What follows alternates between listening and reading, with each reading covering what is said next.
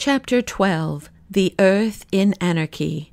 Urging the horses to a gallop, without respect to the rather rugged descent of the road, the horsemen soon regained their advantage over the men on the march, and at last the bulk of the first buildings of Lancy cut off the sight of their pursuers.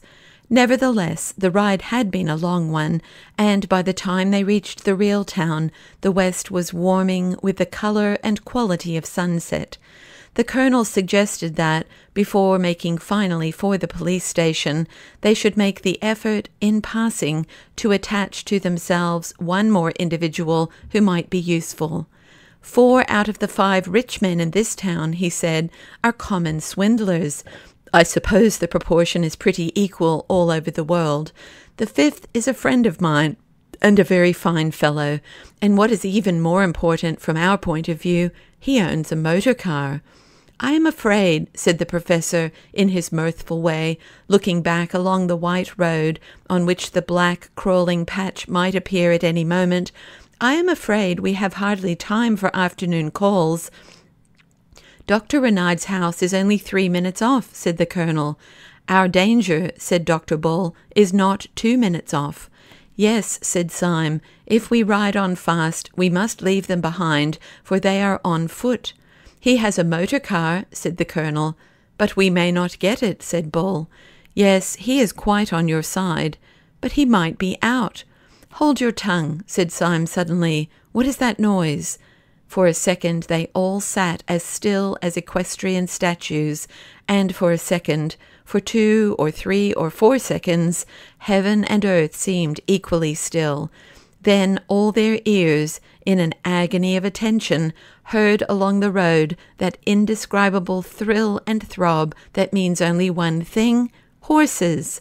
The colonel's face had an instantaneous change, as if lightning had struck it, and yet left it scatheless. They have done us, he said with brief military irony. Prepare to receive cavalry. Where can they have got the horses? asked Syme, as he mechanically urged his steed to a canter. The colonel was silent for a little. Then he said in a strained voice, I was speaking with strict accuracy when I said that the Soleil d'Or was the only place where one can get horses within twenty miles. No, said Syme violently, I don't believe he'd do it, not with all that white hair. He may have been forced, said the colonel gently. They must be at least a hundred strong, for which reason we are all going to see my friend Renard, who has a motor car. With these words, he swung his horse suddenly round a street corner and went down the street with such thundering speed that the others, though already well at the gallop, had difficulty in following the flying tail of his horse. Dr. Renard inhabited a high and comfortable house at the top of a steep street, so that when the riders alighted at his door, they could once more see the solid green ridge of the hill, with the white road across it, standing up above all the roofs of the town. They breathed again to see that the road as yet was clear, and they rang the bell. Dr. Renard was a beaming, brown bearded man, a good example of that silent but very busy professional class which France has preserved even more perfectly than England. When the matter was explained to him, he pooh poohed the panic of the ex Marquis altogether. He said, with the solid French scepticism, that there was no conceivable probability of a general anarchist rising, Anarchy, he said, shrugging his shoulders. It is childishness. Ça, cried out the colonel suddenly, pointing over the other's shoulder. And that is childishness, isn't it? They all looked round and saw a curve of black cavalry come sweeping over the top of the hill with all the energy of Attila. Swiftly as they rode, however, the whole rank still kept well together, and they could see the black vizards of the first line as level as a line of uniforms. But although the main black square was the same, though travelling faster, there was now one sensational difference which they could see clearly upon the slope of the hill as if upon a slanted map. The bulk of the riders were in one block, but one rider flew far ahead of the column and, with frantic movements of hand and heel, urged his horse faster and faster, so that one might have fancied that he was not the pursuer, but the pursued. But even at that great distance, they could see something so fanatical, so unquestionable in his figure, that they knew it was the secretary himself. I am sorry to cut short a cultured discussion, said the colonel, but can you lend me your motor car now, in two minutes? I have a suspicion that you are all mad, said Dr. Renard, smiling sociably, but God forbid that madness should in any way interrupt friendship. Let us go round to the garage. Dr. Renard was a mild man with monstrous wealth. His rooms were like the Musée de Cluny, and he had three motor cars. These, however, he seemed to use very sparingly, having the simple tastes of the French middle class, and when his impatient friends came to examine them, it took them some time to assure themselves that one of them even could be made to work. This with some difficulty they brought round into the street before the doctor's house. When they came out of the dim garage, they were startled to find that twilight had already fallen with the abruptness of night in the tropics. Either they had been longer in the place than they imagined, or some unusual canopy of cloud had gathered over the town. They looked down the steep streets and seemed to see a slight mist coming up from the sea. It is now or never, said Dr. Bull. I hear horses. No, corrected the professor, a horse. And as they listened, it was evident that the noise, rapidly coming nearer on the rattling stones, was not the noise of the whole cavalcade, but that of the one horseman who had left it far behind, the insane secretary. Symes's family, like most of those who end in the simple life, had once owned a motor, and he knew all about them. He had leapt at once into the chauffeur's seat, and with flushed face was wrenching and tugging at the disused machinery. He bent his strength upon one handle, and then said quite quietly, I am afraid it's no go. As he spoke, there swept round the corner a man rigid on his rushing horse, with the rush and rigidity of an arrow. He had a smile that thrust out his chin as if it were dislocated. He swept alongside of the stationary car, into which its company had crowded, and laid his hand on the front. It was the secretary, and his mouth went quite straight in the solemnity of triumph. Syme was leaning hard upon the steering wheel, and there was no sound but the rumble of the other pursuers riding into the town. Then there came quite suddenly a scream of scraping iron, and the car leapt forward. It plucked the secretary clean out of his saddle as a knife is whipped out of its sheath, trailed him kicking terribly for twenty yards, and left him flung flat upon the road far in front of his frightened horse. As the car took the corner of the street with a splendid curve, they could just see the other anarchists filling the street and raising their fallen leader. I can't understand why it has grown so dark, said the professor at last in a low voice. Going to be a storm, I think, said Dr. Bull. I say, it's a pity we haven't got a light on this car, if only to see by.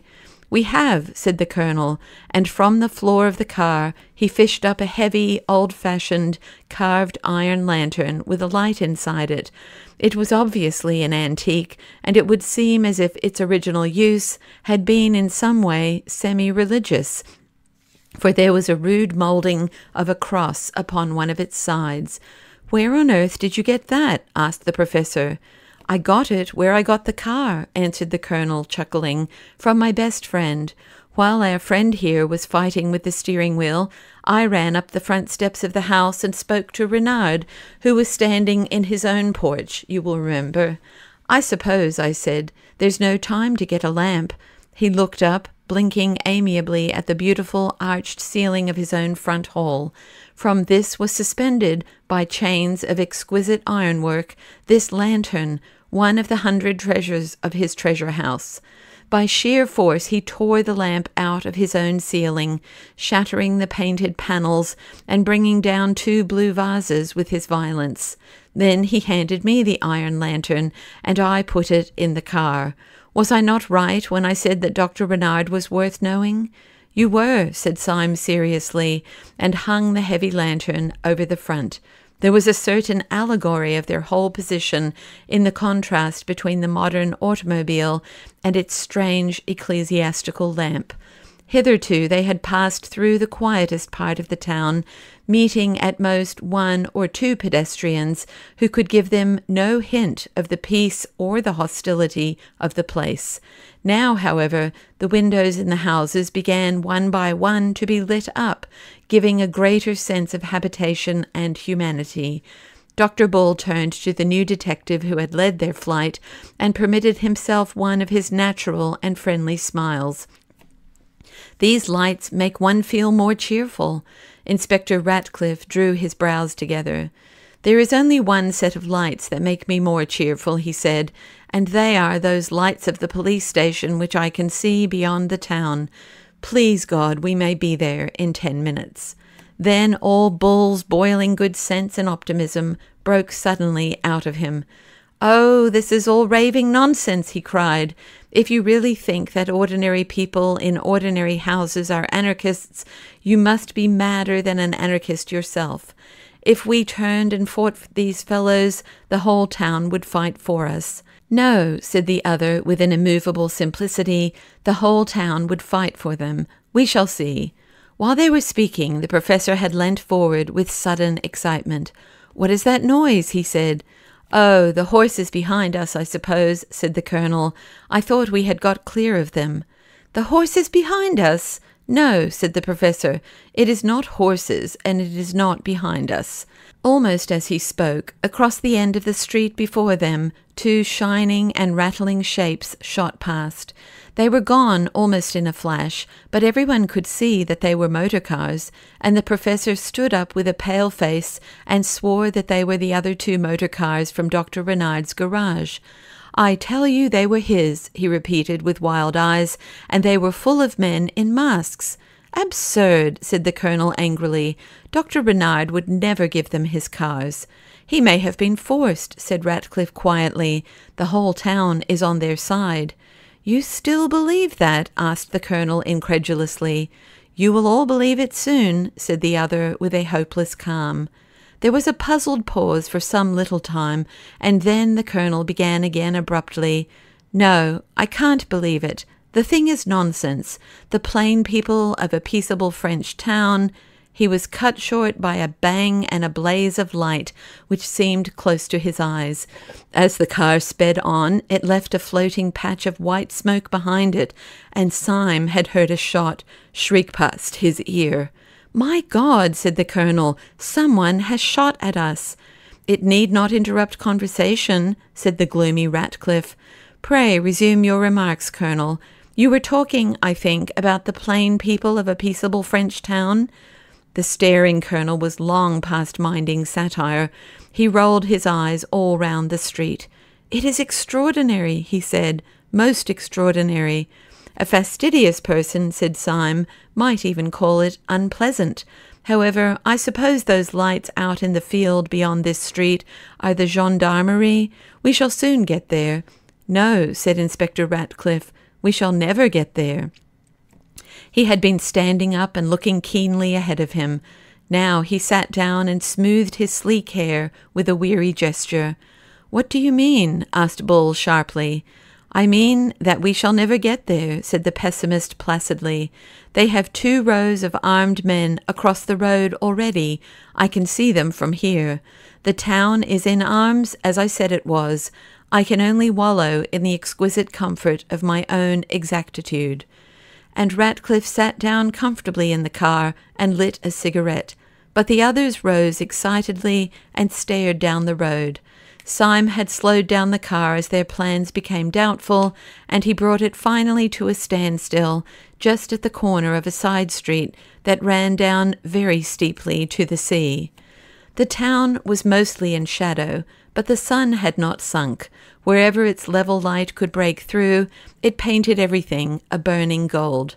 Up this side street, the last sunset light shone as sharp and narrow as the shaft of artificial light at the theatre. It struck the car of the five friends and lit it like a burning chariot. But the rest of the street, especially the two ends of it, was in the deepest twilight, and for some seconds they could see nothing. Then Syme, whose eyes were the keenest, broke into a little bitter whistle and said, It is quite true. There is a crowd or an army or some such thing across the end of that street. Well, if there is, said Bull impatiently, it must be something else, a sham fight, or the mayor's birthday, or something. I cannot and will not believe that plain, jolly people in a place like this walk about with dynamite in their pockets. Get on a bit, Syme, and let us look at them. The car crawled about a hundred yards farther, and then they were all startled by Dr. Bull breaking into a high crow of laughter.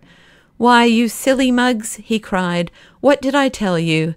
The, that crowd's as law abiding as a cow, and if it weren't, it's on our side. How do you know? asked the professor, staring. You blind bat, cried Bull. Don't you see who is leading them? They peered again, and then the colonel, with a catch in his voice, cried out, Why, it's Renard! There was indeed a rank of dim figures running across the road, and they could not be clearly seen, but far enough in front to catch the accident of the evening light, was stalking up and down the unmistakable Dr. Renard in a white hat, stroking his long brown beard and holding a revolver in his left hand. What a fool I've been! exclaimed the colonel. Of course, the dear old boy has turned out to help us. Dr. Bull was bubbling over with laughter, swinging the sword in his hand as carelessly as a cane. He jumped out of the car and ran across the intervening space, calling out, Dr. Renard! Dr. Renard! An instant after, Syme thought his own eyes had gone mad in his head, for the philanthropic Dr. Renard had deliberately raised his revolver and fired twice at Bull, so that the shots rang down the road.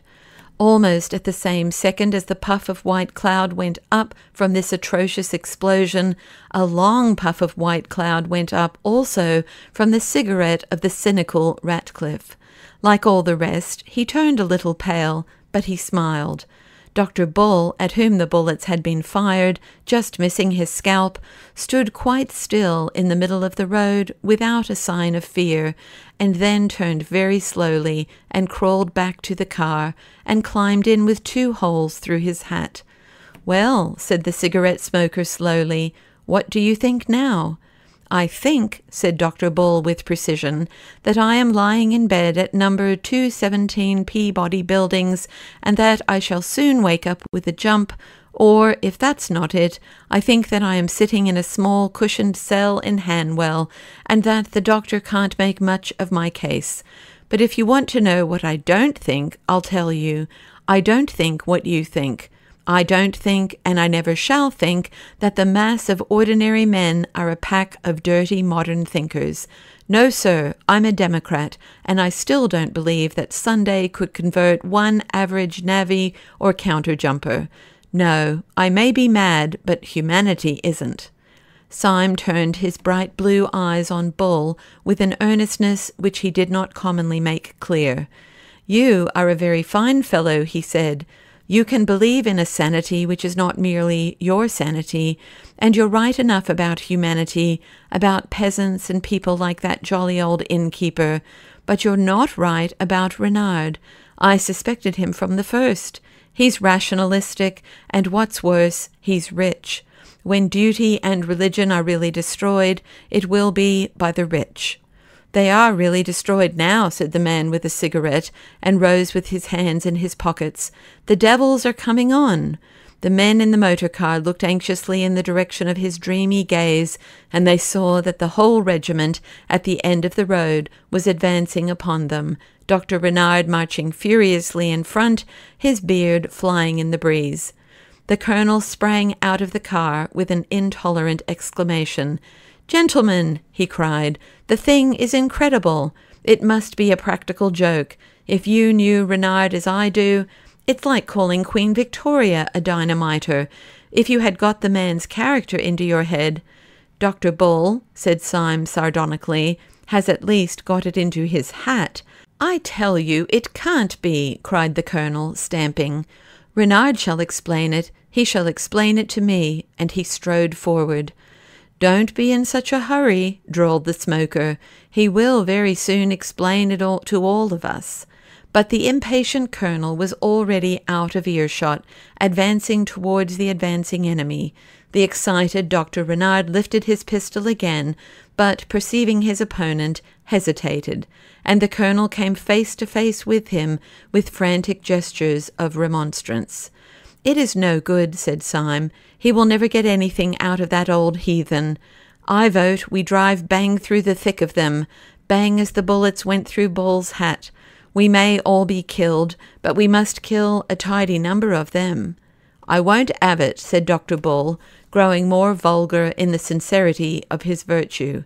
The poor chaps may be making a mistake. Give the colonel a chance. Shall we go back then? asked the professor. No, said Ratcliffe in a cold voice. The street behind us is held too. In fact, I seem to see there another friend of yours, Syme. Syme spun round smartly and stared backwards at the track which they had travelled. He saw an irregular body of horsemen gathering and galloping towards them in the gloom. He saw above the foremost saddle the silver gleam of a sword, and then, as it grew nearer, the silver gleam of an old man's hair. The next moment, with shattering violence, he had swung the motor round and sent it dashing down the steep side street to the sea, like a man that desired only to die. What the devil is up? cried the professor, seizing his arm.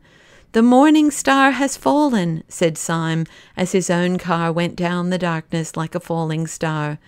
The others did not understand his words, but when they looked back at the street above, they saw the hostile cavalry coming round the corner and down the slopes after them.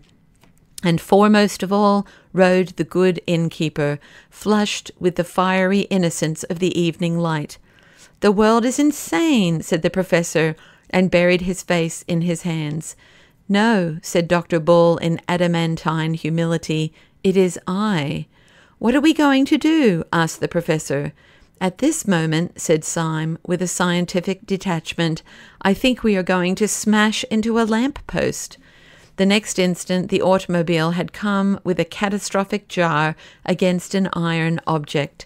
The instant after that, four men had crawled out from under a chaos of metal, and a tall, lean lamp post that had stood up straight on the edge of the marine parade stood out bent and twisted like the branch of a broken tree. Well, we smashed something, said the professor with a faint smile. That's some comfort. You're becoming an anarchist, said Syme, dusting his clothes with his instinct of daintiness. Everyone is, said Ratcliffe. As they spoke, the white haired horseman and his followers came thundering from above, and almost at the same moment a dark string of men ran shouting along the sea front. Syme snatched a sword and took it in his teeth. He stuck two others under his armpits, took a fourth in his left hand and the lantern in his right, and leapt off the high parade on to the beach below. The others leapt after him, with a common acceptance of such decisive action, leaving the debris and the gathering mob above them. We have one more chance, said Syme, taking the steel out of his mouth. Whatever all this pandemonium means, I suppose the police station will help us. We can't get there, for they hold the way.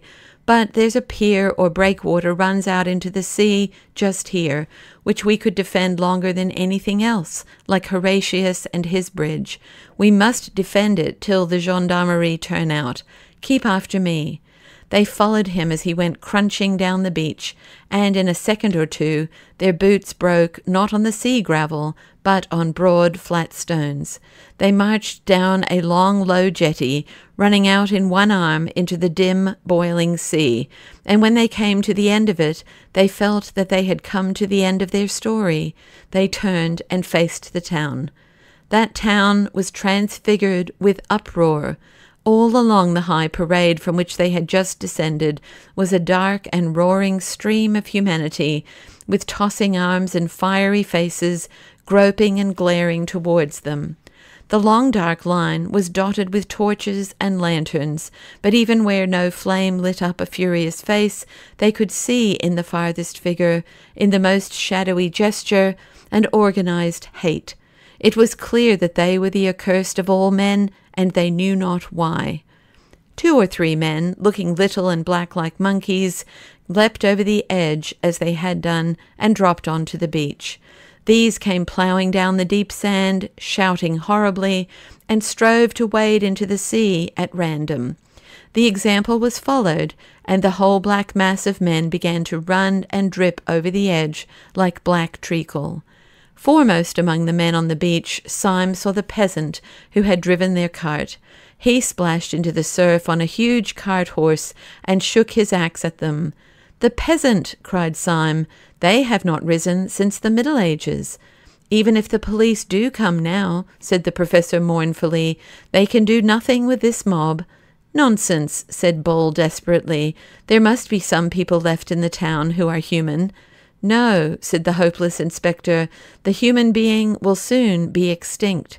We are the last of mankind. It may be, said the professor absently. Then he added in his dreamy voice, What is all that at the end of the Dunciad? Nor public flame nor private dares to shine, nor human light is left, nor glimpse divine. Lo, thy dread empire, chaos is restored, light dies before thine uncreating word. Thy hand, great anarch, lets the curtain fall, and universal darkness buries all. Stop! cried Bull suddenly. The gendarmes are out. The low lights of the police station were indeed blotted and broken with hurrying figures, and they heard through the darkness the clash and jingle of a disciplined cavalry. They are charging the mob, cried Bull in ecstasy or alarm. No, said Syme, they are formed along the parade. They have unslung their carbines, cried Bull, dancing with excitement. Yes, said Ratcliffe, and they are going to fire on us. As he spoke, there came a long crackle of musketry, and bullets seemed to hop like hailstones on the stones in front of them. The gendarmes have joined them, cried the professor, and struck his forehead. I am in the padded cell, said Bull solidly. There was a long silence, and then Ratcliffe said, looking out over the swollen sea, all a sort of grey purple, what does it matter who is mad and who is sane? We shall all be dead soon. Syme turned to him and said, You are quite hopeless then? Mr. Ratcliffe kept a stony silence. Then at last he said quietly, No, oddly enough, I am not quite hopeless. There is one insane little hope that I cannot get out of my mind. The power of this whole planet is against us, yet I cannot help wondering whether this one silly little hope is hopeless yet. In what or whom is your hope? asked Syme with curiosity. In a man I never saw, said the other, looking at the leaden sea. I know what you mean, said Syme in a low voice, the man in the dark room, but Sunday must have killed him by now. Perhaps, said the other steadily, but if so, he was the only man whom Sunday found it hard to kill. I heard what you said, said the professor with his back turned. I also am holding hard on to the thing I never saw. All of a sudden, Syme, who was standing as if blind with introspective thought, swung round and cried out like a man waking from sleep. Where is the colonel? I thought he was with us. The colonel? Yes, cried Bull. Where on earth is the colonel? He went to speak to Renard, said the professor. We cannot leave him among all those beasts, cried Syme. Let us die like gentlemen if. Do not pity the colonel, said Ratcliffe, with a pale sneer. He is extremely comfortable. He is. No, no, no, cried Syme in a kind of frenzy. Not the colonel, too. I will never believe it. Will you believe your eyes? asked the other, and pointed to the beach. Many of their pursuers had waded into the water, shaking their fists, but the sea was rough, and they could not reach the pier. Two or three figures, however, stood on the beginning of the stone footway and seemed to be cautiously advancing down it. The glare of a chance lantern lit up the faces of the two foremost. One face wore a black half mask, and under it the mouth was twisting about in such a madness of nerves that the black tuft of beard wriggled round and round like a restless living thing. The other was the red face and white moustache of Colonel Ducroix. They were in earnest consultation. Yes, he is gone too, said the professor, and sat down on a stone. Everything's gone. I'm gone. I can't trust my own bodily machinery. I feel as if my own hand might fly up and strike me. When my hand flies up, said Syme, it will strike somebody else. And he strode along the pier towards the colonel, the sword in one hand and the lantern in the other. As if to destroy the last hope or doubt, the colonel, who saw him coming, pointed his revolver at him and fired. The shot missed Syme, but struck his sword, breaking it short at the hilt. Syme rushed on and swung the iron lantern above his head. Judas before Herod, he said, and struck the colonel down upon the stones. Then he turned to the secretary, whose frightful mouth was almost foaming now, and held the lamp high with so rigid and arresting a gesture that the man was, as it were, frozen for a moment and forced to hear. Do you see this lantern? cried Syme in a terrible voice. Do you see the cross carved on it, and the flame inside? You did not make it. You did not light it. Better men than you, men who could believe and obey, twisted the entrails of iron and preserved the legend of fire. There is not a street you walk on, there is not a thread you wear that was not made as this lantern was, by denying your philosophy of dirt and rats, you can make nothing. You can only destroy. You will destroy mankind. You will destroy the world. Let that suffice you. Yet this one old Christian lantern you shall not destroy. It shall go where your empire of apes will never have the wit to find it. He struck the secretary once with the lantern so that he staggered, and then, whirling it twice round his head, sent it flying far out to sea, where it flared like a roaring rocket and fell.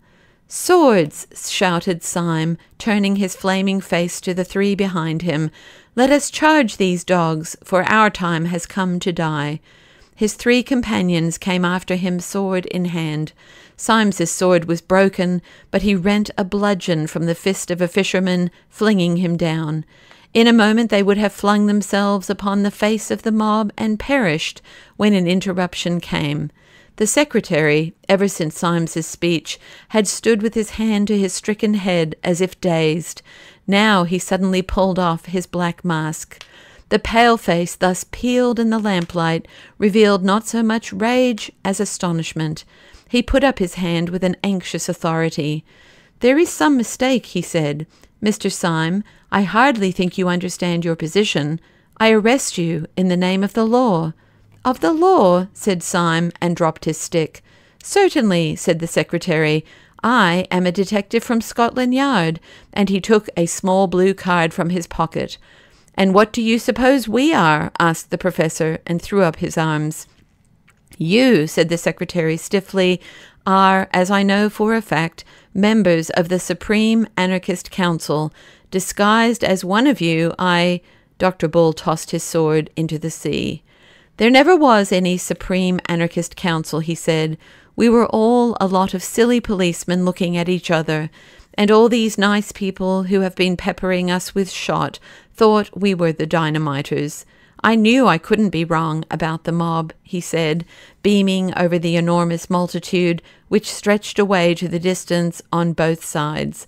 Vulgar people are never mad. I'm vulgar myself, and I know. I am now going on shore to stand a drink to everybody here.